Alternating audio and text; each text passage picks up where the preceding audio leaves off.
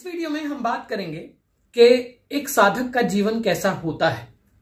कुछ वैसे तो बहुत सारी बातें हैं जो एक साधक के लिए ज़रूरी हैं।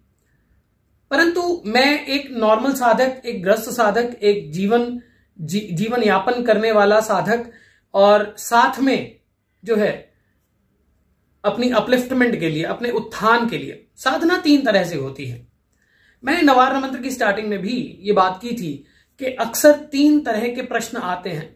एक है कि मैं कुछ करना चाहता हूँ, जो कि मुझे प्राप्त हो जाए तो मेरे जीवन में उत्थान हो जाएगा।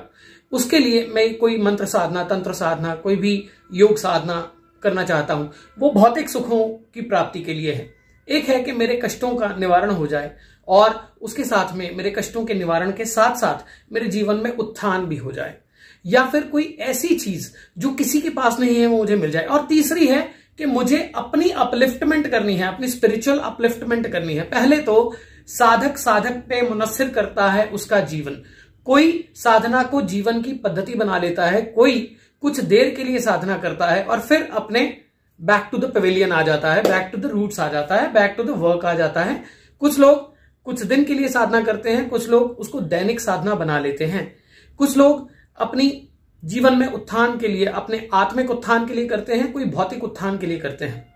अब, इस वीडियो में हम बात करेंगे कि चाहे भौतिक के लिए है, ठीक है, चाहे सांसारिक के लिए है, चाहे आत्मिक के लिए है, चाहे धार्मिक के लिए है, और चाहे फाइनेंशियल के लिए है, आर्थिक के लिए है।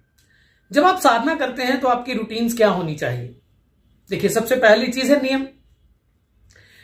जब आप दैनिक साधना करते हैं तो कुछ नियमों से आप छूट जाते हैं, क्योंकि दैनिक साधना जब आप उसको अपना हिस्सा बना लेते हैं जीवन का तो बहुत सारी चीज़ें हैं जो आप छूट जाते हैं उससे, क्योंकि आप, आपको अपने भौतिक जीवन को भी जीना है, अपने सांसारिक जीवन को भी जीना है, ग्रस्त जीवन को भी जीना है। जब आप कोई भी साधना करते हैं, साधना करते हुए कुछ नियम, सबसे पहली चीज़ है आपकी माइंड की प्रोग्रामिंग आप समझिए। माइंड प्रोग्रामिंग अपने आप में बहुत बड़ा फिनोमेना है किसी भी तरह की साधना में जाने के लिए। क्यों जा रहा हूँ? क्या चाहिए? अपना लक्ष्य निर्धारण, जिसको शिव संकल्प कहते हैं। अब उसके बाद में लक्ष्य निर्धारण हो गया। आपने सोचा कि मुझे अपनी अपलिफ्टमेंट करनी है। अगर आपको अपनी अपलिफ्टमेंट करनी है तो नियमवत आपको एक टाइम अपने, देखिए, मन का वर्तुल है, समझिए। मन का वर्तुल है, मन हमेशा चंद्र 27 नक्षत्रों में।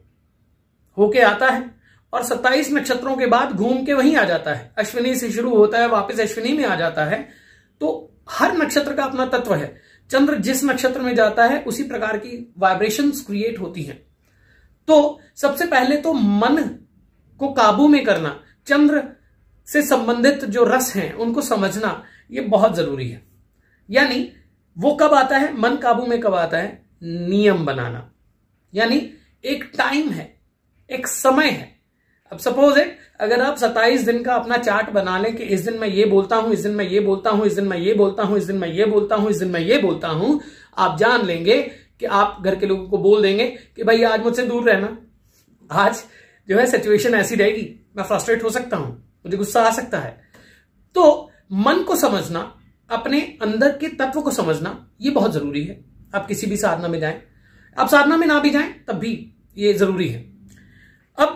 नियम जो होता है आपने एक टाइम पे साधना का नियम बना लिया। यानी एक टाइम सुबह आपने साधना करनी है या फिर शाम को एक टाइम पे आपको साधना करनी है। उस टाइम उस स्थिति में आपका आप, आपका इनर सेल्फ वो धीरे धीरे डिमांड करने लगेगा और उसी से धीरे धीरे आप प्रोग्राम्ड हो जाएँगे। आपके अंदर धीरे धीरे वह ऊर्जा व्याप्त होनी शुरू होगी। यदि आप नियमवत करेंगे तो। परंतु इसका अर्थ यह भी नहीं है कि अगर आप नियमवत नहीं कर पाते हैं बाय चांस सबका अपना अपना रूटीन है कोई कॉल सेंटर्स में काम करता है कोई किसी तरह का काम करता है कोई किसी तरह का करता है यदि आप नहीं भी कर पाते हैं तो इसका अर्थ पाप का भाव नहीं लाना है दैनिक साधना में। फिर आ, आ जाती है दूसरी साधना वो है संकल्पवत साधना। उसमें आपको ब्रह्मचर्य भी रखना होता है खान पान का ध्यान भी रखना होता है आपको जो आपके विचार विचार शुद्धि तो ज़रूरी है आत्मिक शुद्धि तो ज़रूरी है। यदि आप आत्म चैतन्यता के लिए, अपनी जागृति के लिए, आप अपने चक्रों की जागृति के लिए, या फिर अपनी ऊर्जा की जागृति के लिए आप कुछ कर रहे हैं तो फिर आपको फ़ूड का भी ध्यान रखना होता है। आपको अपनी वाणी, विचार, व्यवहार, इन सबका ध्यान रखना होता है। ज़्यादा चीज़ों में मत उलझिए, ठीक है? इस तरह से होता है। यदि आप 21 दिन 11 दिन की साधना कर रहे हैं तो आप संकल्पवत वो हर हर एक जो साधना है उसका अपना अपना संकल्प का अपना अपना वो होता है। कॉमन ग्रस्त व्यक्ति के लिए क्या होता है? प्याज, लहसुन ना खाएँ, ठीक है? तामसी भोजन ना करें, तामसी विचार ना लाएँ। और जो आपने समय चुना है, जितनी आपने माला चुनी है, उसको आपको लक्ष्य को पूर्ण करना है। दैनिक साधना में आप लक्ष्य पूर्ति वाली स्टेज में नहीं रहते हैं। दैनिक साधना में आप सिर्फ़ अपना एक टाइम फिक्सअप कर लेते हैं। चाहे वो प्राणायाम का है चाहे वो तंत्र का है, चाहे वो किसी भी प्रकार का है, मंत्र का है, या किसी क्रिया का है, कोई भी है। आप एक टाइम फिक्स कर लेते हैं। एक चीज़ और। साधक जीवन को यज्ञ की तरह जीता है। ये बहुत बड़ा टॉपिक है। साधक के लिए जीवन अपने आप में एक यज्ञ होता है। और यज्ञ जब आप करते हैं तो आप भविष्य देते हैं। साधक स्वयं को झोंक देता है। मैं अक्सर यह कहता हूँ कि साधना ना व्यापारी की है, ना भिखारी की है, साधना जुआरी की है।